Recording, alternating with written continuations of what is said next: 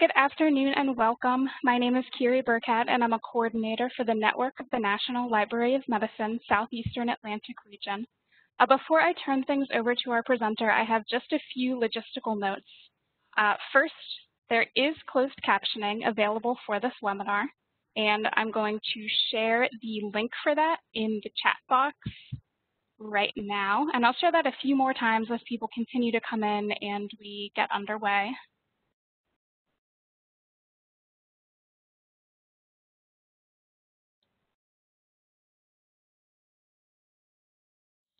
Chat box is not cooperating with me, of course. There we go. This is a large group, so everyone will remain muted throughout the presentation. However, if you'd like to share thoughts or questions with us or your colleagues, please do type them into the chat box and make sure that you've selected all participants from the drop-down menu uh, so that we and your colleagues can see your thoughts. As I mentioned briefly, this uh, presentation is being recorded and it will be posted to the NNLM YouTube channel. Uh, but that being said, the chat box and the participants list will not be included in the recording, so that information will stay within this audience. Now I am pleased to introduce today's guest, Jodi Ann Burey. Jodi Ann has a mission to disrupt business as usual to achieve social change. She is a speaker, writer, and equity advocate. Her work is grounded in centering the experiences of historically underrepresented communities and the systemic intersectional approaches needed to address inequities. Jodi Ann holds a master's in public health from the University of Michigan. She prides herself on being a cool auntie, a twist-out queen, cancer survivor, adventurer, and reluctant dog owner. Jodi Ann is currently working on her first book and podcast called Black Cancer, which explores stories about women of color and healthcare.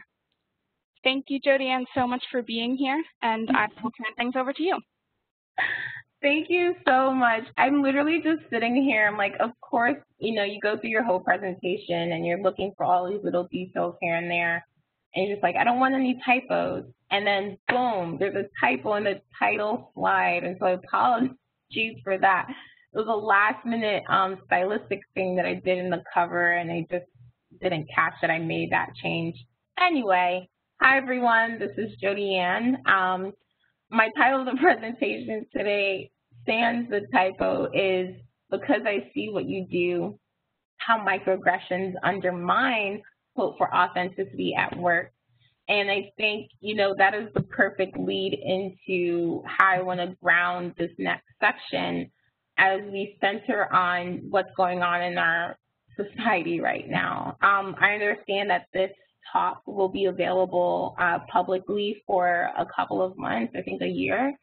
And so my hope is that a year from now, this whole section will just be a distant memory, but I do want to ground us in where we are right now. I call this the inside times. We are in the midst of the COVID-19 uh, pandemic that has completely shifted life around the world and particularly here in the United States. Most of us are working from home or working um, somewhat cautiously as we try to engage in a way that can reduce transmission of the coronavirus. It's been a scary time. It's been a devastating time for those who have lost people in their families, their loved ones in their lives. Um, we're in an unprecedented situation, which is the understatement of the century. And so understanding the COVID-19 pandemic that we're in, and then this other pandemic where we are in a serious reckoning around systemic racism in the United States and what it means to say that Black Lives Matter. I was in a conversation with someone the other day, and even the affirmation that can come from Black Lives Matter is this simultaneous sense that because I have to say it means that in a lot of parts of our society that's not true. And so we are in a racial reckoning in the wake of the murder of George Floyd, Breonna Taylor, Ahmaud Arbery, so many people who have lost their lives so many people who have been the victims of senseless, senseless violence, thinking of Jacob Blake here. thinking about the anti-Asian racism that had this resurgence when COVID-19 first hit, thinking about what's happening at the border and how we're valuing the lives of folks who are not, you know, quote unquote, from here. You know, we are in a crisis where our very notion of what is normal is being challenged in really serious ways. And it's up to us to decide who we want to be on the other side of this dimension, of this portal that has opened up um, in the wake of all this unrest, all this uncertainty. Also want to acknowledge that, you know, I have my windows open because it's just so hot and I they really shouldn't be open because all across the western coast, fires are raging and people are being impacted by losing their homes, losing whole ecosystems in their areas, you know, being uh, subjected to really, really poor air quality. I understand that there's a hurricane that's happening on the southeast side of the country right now. Um, there are a lot of people who are suffering in a lot of ways, and the fact that y'all are here today to figure out how to be hopeful in some way and the work that it takes to be hopeful um, says a lot about where we can go and where we can be. And so it's in the context of that where I'm just like, yeah, I had a typo. It's the inside times. Racism is real and ravaging. It's a really stressful period. And so I'm going to forgive myself, and I hope you all can forgive me. And so who am I? As Carrie said, my name is Jodi Ann. I'm a speaker, I'm a writer, I'm a disruptor. And I think a lot of times you'll hear um, folks open a talk and they give some long title of who they are and where they work and what position they hold. I don't have that. I'm an entrepreneur now because like 50 million people and counting in the wake of COVID-19, I lost my job.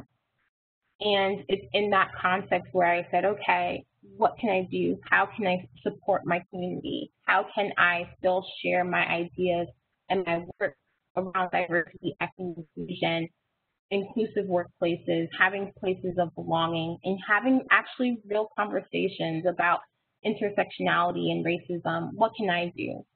And so what I did was fired up the computer, you know, created some events and really started engaging with folks all over the country, all over the world on these topics. And it's a privilege to be in service of that work. I always start every single talk with a quotation from Dr. Maya Angelou, who has been a huge part of my own intellectual and personal development. And of the many, many, many quotations that she has, I feel like this one doesn't get quoted nearly as much. But she says, My mission in life is not merely to survive, but to thrive. And to do so with some passion, some compassion, some humor, and some style. And so that is the approach that I want to bring to our conversation today. And even though our chat won't be present in the YouTube public version of this, I really want that energy to be alive in our conversation today, in our community space today in the chat. How can we bring some compassion, some passion to this work, some humor, and some style? I want to see y'all style today. And so what are today's norms? Let's just set some baselines because often when we get into conversations like these, people aren't totally sure of how to engage. And as a way to unlock participation, as a way to get people comfortable with what's going to happen today, let's set some norms. I think we've talked extensively about practicing empathy, understanding the moment that we're in, um, understanding where you are. You're in my apartment right now. I have a studio apartment in Seattle, Washington. This is where you are with me in my home. I have a dog that is walking around. He just ate, and so he's, you know, getting ready to go. And I'm sure y'all have your dogs, your pets, your partners, your children, your roommates. You know, I'm sure there are many distractions outside of your window like I do. I have birds chirping. Like there's just so much going on. Practice empathy with where we are in this moment and practice empathy with what might happen today. I have no idea what's going to happen with the technology and the microphone and the lighting and all of this. There's a lot happening, and I want you to feel comfortable as even in all of this, I'm hoping to feel comfortable with you all. If you have to bring your iPad or computer or phone with you, on a on to the couch or to grab some tea, you know, do that. Let's be in community together. Also thinking about resisting defensiveness. There might be some things that we talk about today that might be uncomfortable. There might be stuff in the chat that folks share that, you know, make you feel a little defensive. Let's resist that. Let's think of the things that make us uncomfortable as ways where we can learn. Open up another tab on your screen. I'm old school, so I always have post-it notes and notepads around me. Take some notes yourself. Write it in the chat. How do we become a space where things that make us uncomfortable actually becomes our map for learning? This is separate from, you know, I don't believe there are both sides, you know. I do think that there are some ways that we communicate that can be really harmful and toxic. And so let's separate things that make you uncomfortable between things that are like toxic and problematic. And so things that make you uncomfortable, that's a space to learn. If there are ways that people might be inviting harm into this conversation, um, and harm can look like negating people's own experiences, that's really not what we want to see in the chat. Uh, we're in a collective learning and collective teaching environment. And so like Carrie said, we have a lot of folks in the room today. And so you all won't be able to engage with me in the same way, but I still see it as a conversation. I'm looking at the chat. I'm seeing ways that you want to talk to me and speak with each other. How can what I'm saying reflect back to you ways that you can grow your learning? But there are ways, there, I'm sure there are so many people in the room who know way more about this than I do bring some of your insights into the chat. What I also love to see is when people put links, if I'm talking about a quotation or an individual or an idea and you have a, a sense of a podcast or an article, sharing those resources in the chat. We're all in here learning together. Connect with your own experiences. Like I said, we're in a, a space where, you know, I won't be able to hear from you, but if there's something I'm talking about that reminds you of something that you did or, or something that you've experienced, you know, find ways to, to share that in the chat or take note of that, you know, actual notes that you're taking on your computer or on pieces of paper, but or also in your own mind. Ground the examples that I'm using from my own life with thinking about things that have happened in your life. And then again, in relation to sitting with defensiveness, there's not really a lot here to necessarily disagree with. We're just sitting in facts and experiences. And so how can we grow our learning and our understanding and add a little bit more nuances versus this is right, this is wrong. Just go deeper into the work and asking more questions. And so all of that I would love to see reflected in the chat from even our introduction I know that folks are coming in from all over the place, and so I love that. And so thank you, Gail. You know, thank you, Christine. I love what's happening in the chat, and I really want to see people engaging and sharing. Looking the wrong screen. Okay, so here's what we're going to cover today. We're going to set some foundations, and then I want to set a vision for authenticity at work. And there are a lot of barriers to having to achieving that vision. What is that authentic workplace? And then what are some solutions for that? That'll be our outline today. Four quick sections over the next 50 or so, 40 minutes that we have together. So let's begin with setting some foundations grounding in this particular talk, let us ground ourselves in James Baldwin's words here. That is the foundation of the title of this piece. You know, he says, I can't believe what you say because I see what you do. I see what you do. And so what I want to do today, what I'm excited to do today, is to move us from our ideas from our values, from the ways that we might defend ourselves, um, to the things that we've read about, right? All of these more kind of things that we say, things that we believe, and a lot of times maybe things that we don't say. how can we turn that into action? Because I see what you do. And what I'm trying to ground us in this mindset today is I don't know how important it is what you say or what you believe, or even apologies for things, right? Even what you say in terms of apology. What can you do? What can you do now? What can you do in the future? And I wanted to use his words in the framing of this conversation because when we often talk about microaggressions, when we talk about the vision for authentic workplaces, we focus so much on our words and these values, but we're not fully showing what we actually are doing. And so let's keep that mindset today as we have our conversation. And so let's go through some key concepts. I like to start everything with making sure everyone's level set with what these definitions mean and specifically what they mean to me. And so you have a sense of the framework that I'm using as we enter into this discussion and we build on these concepts. So some key concepts here, diversity. Diversity refers to the demographic mix of things, right? In this case, we're talking about people. What I often find with companies and organizations is that we use diverse or diversity as a proxy for demographic identities that we feel uncomfortable saying.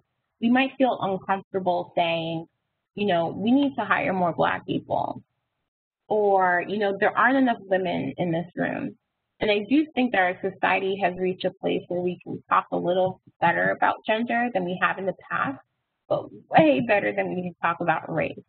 And so people might say, oh, Jodi Ann, you know, you're a diverse speaker. You know, we're having a diverse speaker talk today. No, Jodi Ann is not diverse. Jodi Ann's one person. and so maybe Jodi Ann diversifies a, a speaker lineup in some way. We are talking about a mix of people, but let's be conscious of the ways that we're using diversity as a proxy. So when we start using proxy, that means that we're not actually talking about the thing that we're trying to talk about, which means we can't create solutions for the thing that we're actually talking about because we can't even name it. How can we start naming race and racism? And so diversity speaks to who is in the room, right? This metaphorical room. Inclusion is who's at the table, who makes decisions, who's in leadership. And what you might find at a lot of companies is that you might have a lot of people of color, right? But are they pooling at the lower paid levels of the company? Or are they distributed evenly across not just salaries, which also sometimes align with how you make decisions, who gets to make decisions for the company, for your organization, for the initiative, for the team. And so who's at the table? Who are we including in being able to make decisions for our group? Equity is who gets to be heard. And this has happened way too often in my career, and I want to see in the chat, and as you think about your own experiences, has this happened to you? Particularly for folks of color in this room, folks who have some other identity that's been marginalized in our society by gender, by sexual identity, um, by sexual orientation, by ability status, what have you. Have you been in the room, right? You've been at the table and you're like raising your hand, trying to be heard, and nobody wants to hear what you have to say. Or you say something and no one seems to respond. Or you say something and it gets automatically negated. Right?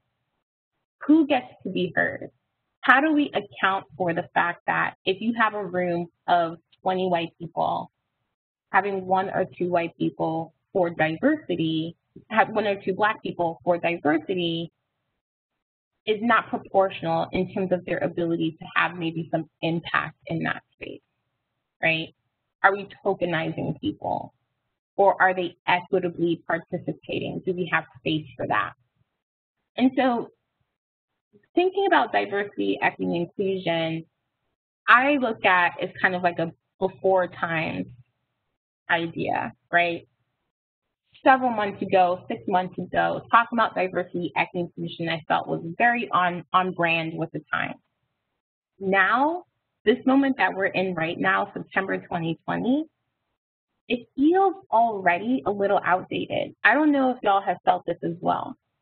Because in the wake of George, uh, George Floyd's murder and this resurgence of this racial reckoning around systemic racism in the United States and the amount of companies and organizations and high-profile individuals that are really championing um, what it looks like institutionally to stand in solidarity with Black lives, with the ways that young people and folks all across across the country, across the world, were taken to the streets in solidarity with Black lives and really, really leading this movement.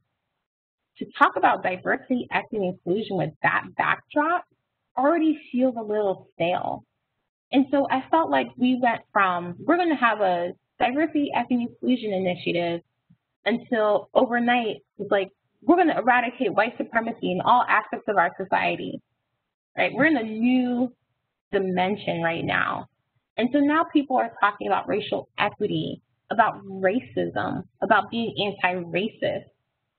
Right? We've elevated the conversation really, really quickly. And so racial equity, it's a state of being in our society where race is a non-predictive aspect of your outcome. Race cannot predict your outcome. And so think about your organizations. Back in the day when we walked into rooms, you know, if you walked into a room and you saw a black woman sitting there and the meeting's about to start, you know, people are trickling in, do you think she's the intern or do you think she's the CEO? when we have organizations where being a person of color starts to align with holding less positions of power within a company, then we start mapping on someone's race to what their outcomes are in our organizations. We see that in the health field. We know that Black women are three to four times more likely to die in childbearing. Being a Black woman of reproductive age, that concerns me that I know that if I walk into a doctor's office and I'm trying to, you know, manage my health care, manage my birth plan, that I probably might statistically have a poor outcome just the factor of my blackness. We know that Latinx women get 53 cents on the dollar for what, what white men make. By the nature of being a woman, being a woman of color, being a Latinx woman specifically, you will get less pay.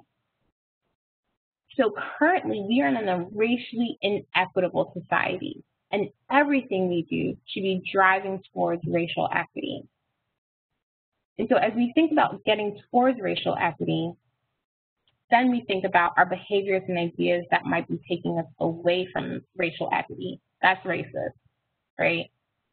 And that is the inertia of our society. And so to be anti-racist is to insert these very specific intentional behaviors and ideas that get us towards equity.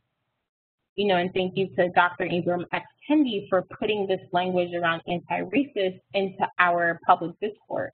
What are the things that you're intentionally doing to drive us towards racial equity? Because racial equity is not um, not guaranteed. It's going to take action to get there.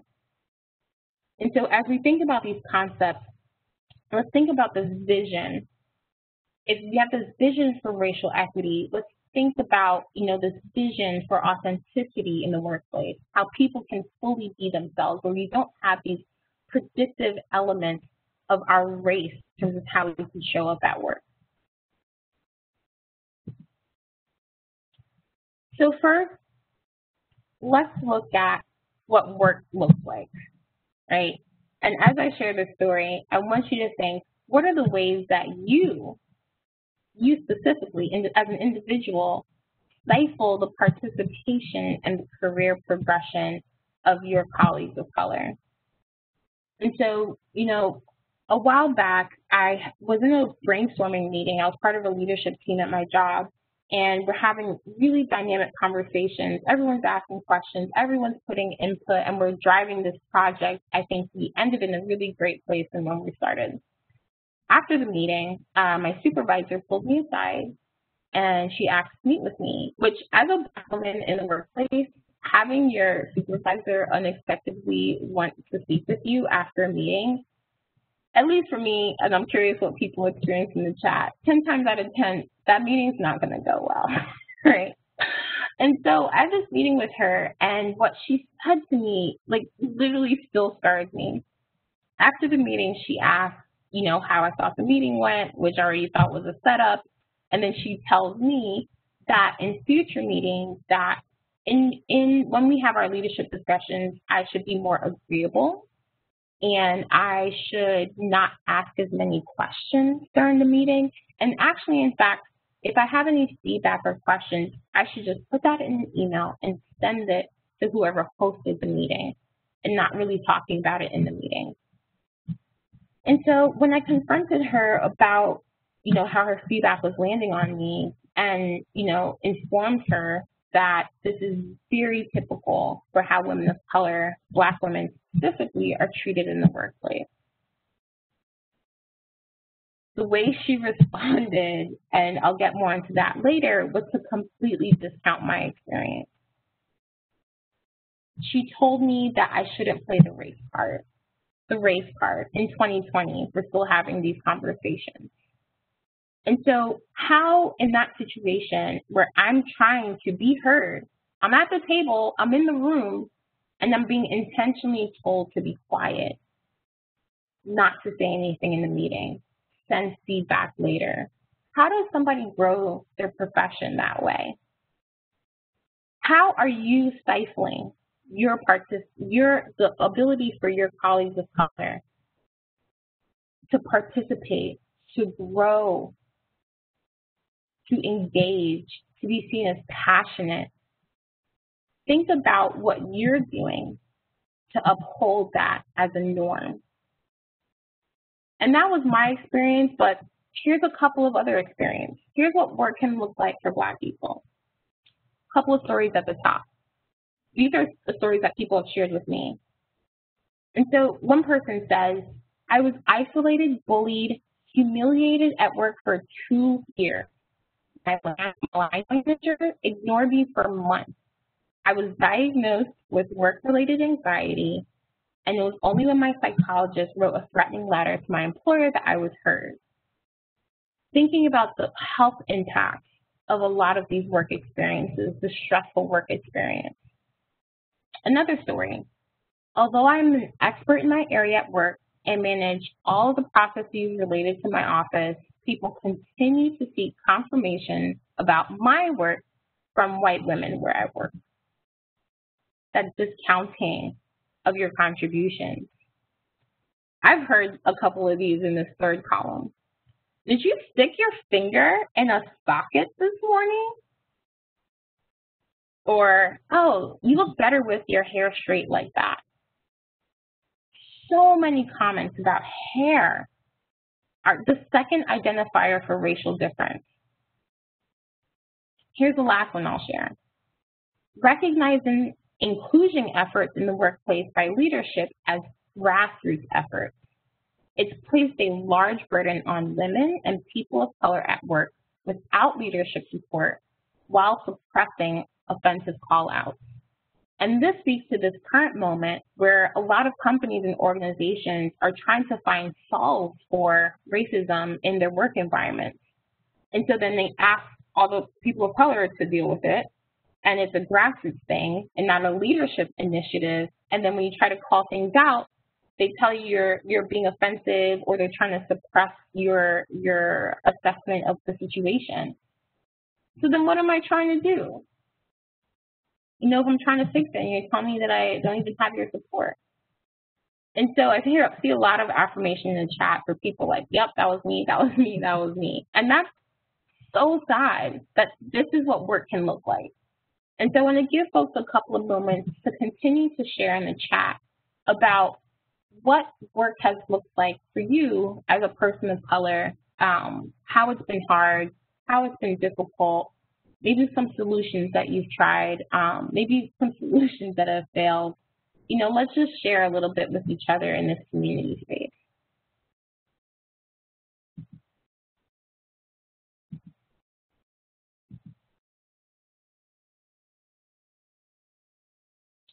Thank you, Ella. It is it is very tiring, right? It is so tiring. It's exhausting to experience all, in all dimensions of our work life. People talking about our hair, people prioritizing their own desires to tell us that our hair is beautiful, or prioritizing their own interests and not paying attention to the fact that a lot of this is really hurtful. And in my work, I've seen this across industry, across levels of seniority, across the country, across the world, women of color, folks of color, people who any type of marginalization are experiencing these microaggressions on all fronts.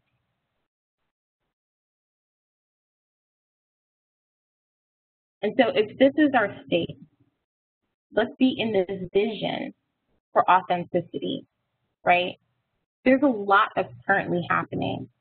And so what what do you even want, right? Why can't I just talk about your hair? No, you can't talk about our hair, right? You know, can we think about our differences and the way we show up as assets and not liabilities? Can are we allowed to be transparent. Just imagine if, if black folks, folks of color, people have any type of marginalization, can just be transparent with who they are instead of being asked to assimilate. Can we be rewarded for our differences and not being punished or being rewarded for speaking up about discrimination and not punished for it? Can we be treated as partners in this work, in our company goals and these initiatives and not pets, not these tokens that we just have around but don't want to do anything? Can our differences be celebrated and not interrogated? And oftentimes, an interrogation can look like you just asking me something about my hair. Hair is the second racial identifier that we have. And so by your quote unquote compliment, right, that is a signifier that I'm different and just reminding me that I don't belong. That's how it can be received. So can we just be celebrated? And some celebrations look like say nothing, just allow me to be in that space. And can we be supported in our careers in trying to push forward and trying to move initiatives around anti-racism forward and not be burdened in any way I think about like what work can look like, assets, transparency, rewards, partners, celebration, support. I get excited about that. And so when we think about how we want to reimagine work, what is your vision for having an authentic workplace, a place of belonging? Let's see a little bit in the chat. What does an authentic workplace look like to you?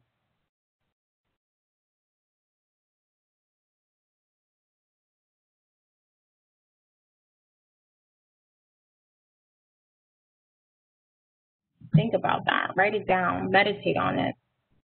Think about not resisting. I, I see some resistance in these comments right now. Why can't I do this? Why can't I do that? What is the vision? right? Having your workplace mirror your community. Thank you so much, Marion, for that. Just being able to do your work. I just want to serve. I don't want to have to deal with that. Let's have some transparency. Can I just live without needing to explain myself? Creating a sense of community and accountability for people at all levels. I love this. Having a workplace that reflects the community demographic. Having respect. No bad will for others. Love that.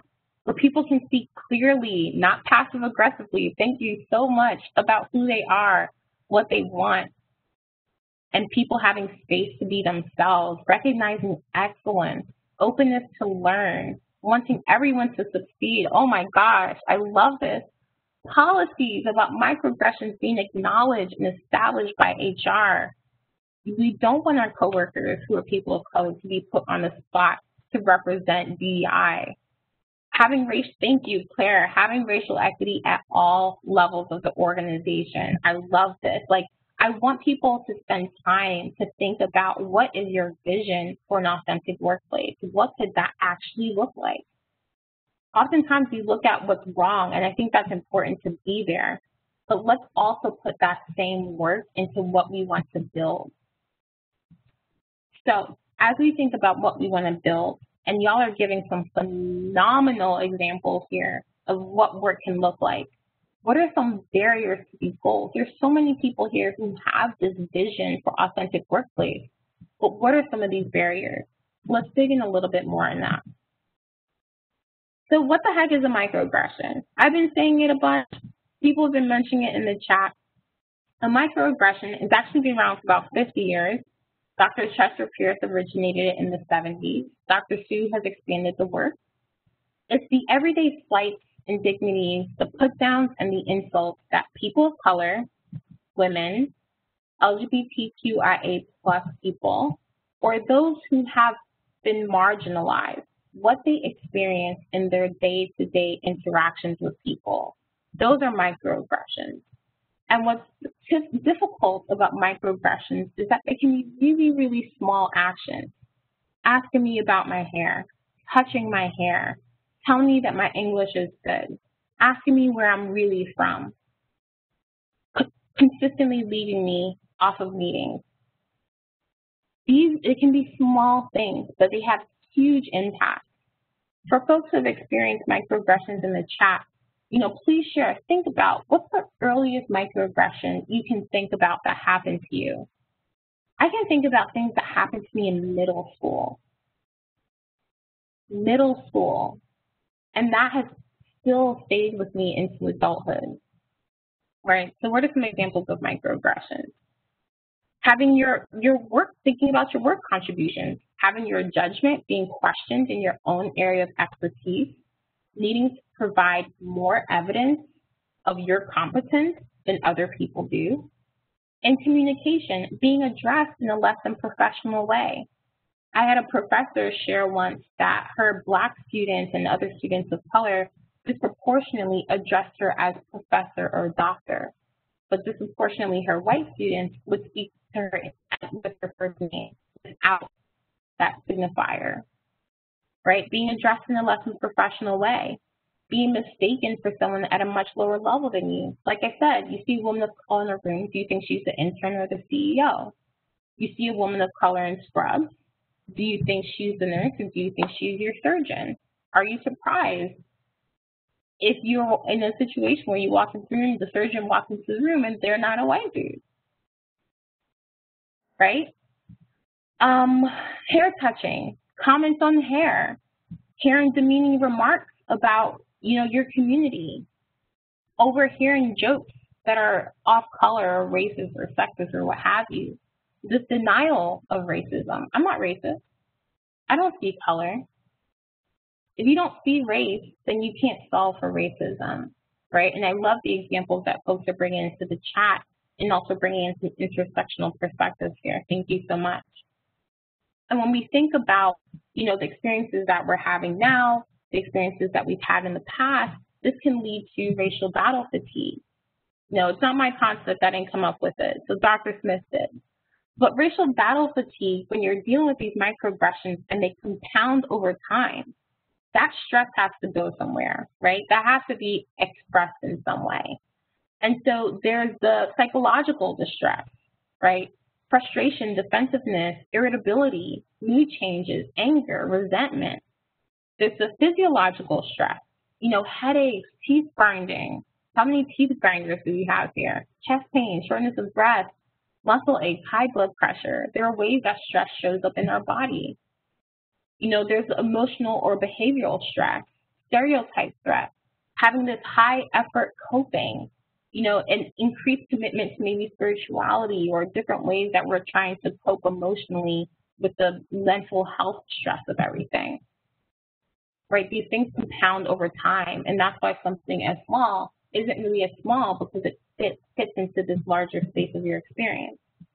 And then a lot of times when you're trying to advocate for something, then people gaslight you, right? It's this form of psychological manipulation where you are questioning your own reality. And so when I had that confrontation with my supervisor, she did exactly this, this DARVO acronym, deny, attack, reverse the victim and offender. Not my term. I think it's Dr. Jennifer or something. I forget her last name, but this is, I did not originate this. So deny, attack, and reverse the victim and offender. This is what this sounds like. When someone says, this has nothing to do with your race, you're being too sensitive. You don't understand. You know, Jodi Ann, if you're going to bring up race every time we, you know, have a feedback conversation, it's going to make it really hard for us to work together. I'm just trying to help you. Thank you so much, Erin, about the Jennifer Freyd. I'm just trying to help you, right? I want you to be successful. I'm trying to help you here.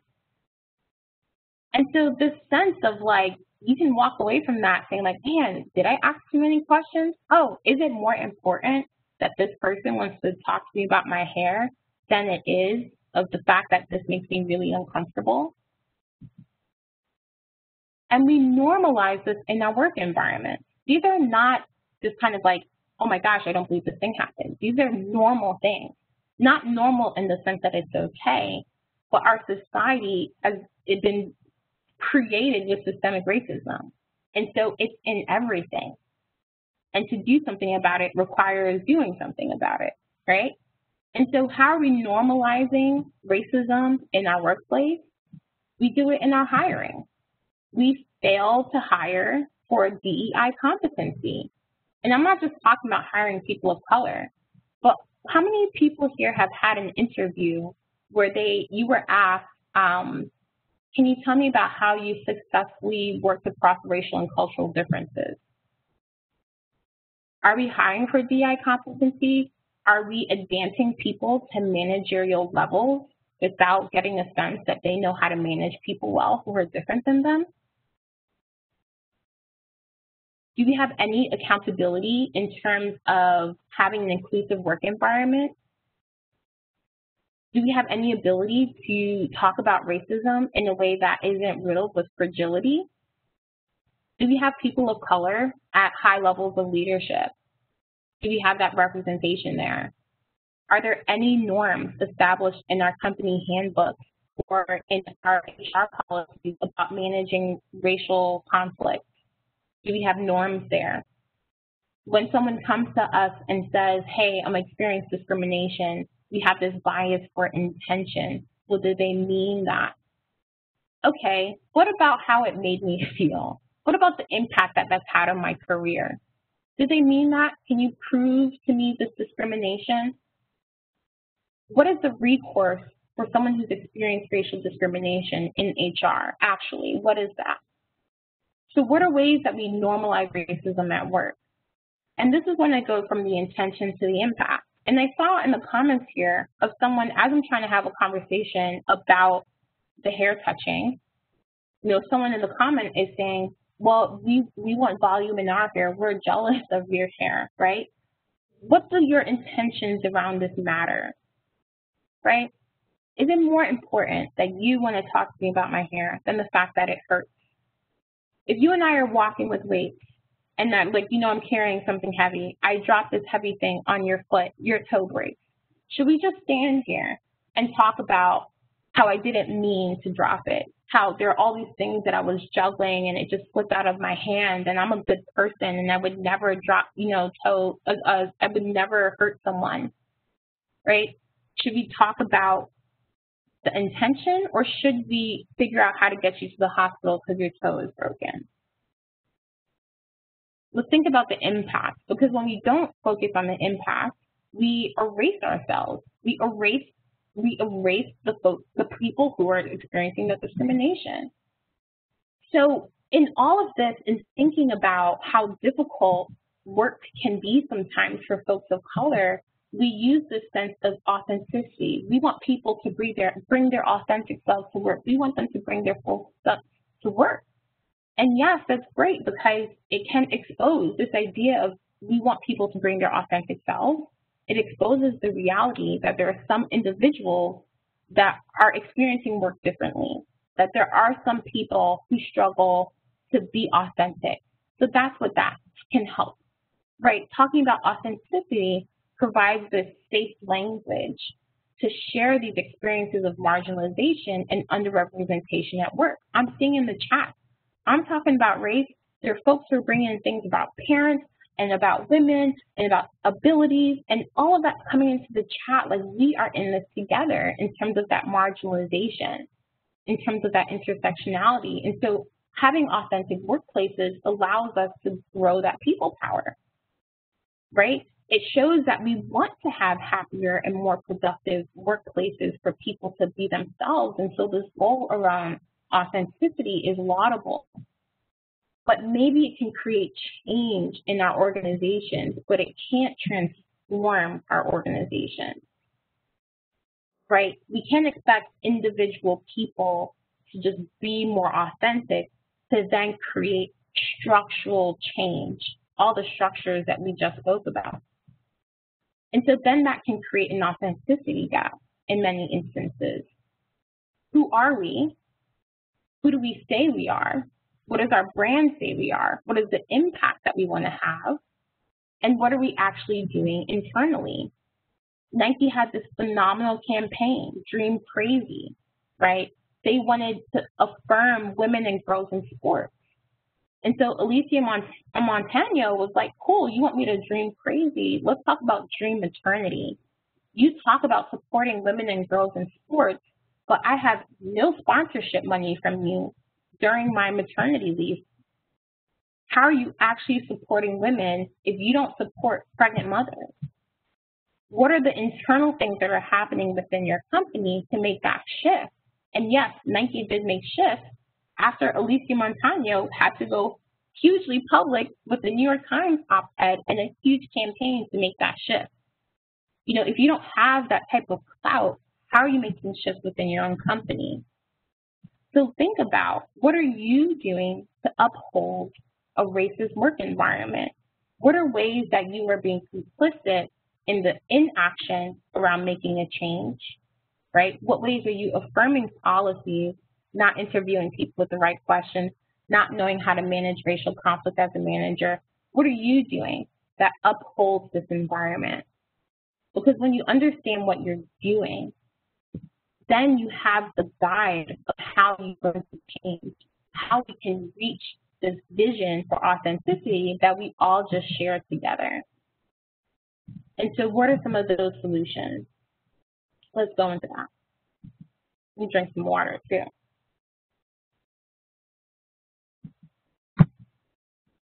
So as we think about solutions, let's understand that we can shift. There are things that we used to say and do, and then we learned this thing, and so now we do that. For example, Jodi Ann spoke at length about how talking about women of color's hair can be really microaggressive. And so I used to always compliment my coworkers' curly hair, you know, as an example. I know that can be a little problematic, um, so now I'm not going to do that anymore. And then maybe I'll question, why is it that I want to comp, uh, uh, make a comment about a woman's appearance in a professional environment? Is it possible to just get on a Zoom and not make a hair comment? You know? So we can shift.